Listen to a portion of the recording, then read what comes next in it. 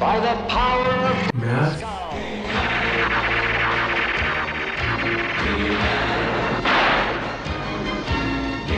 I am still, still, still.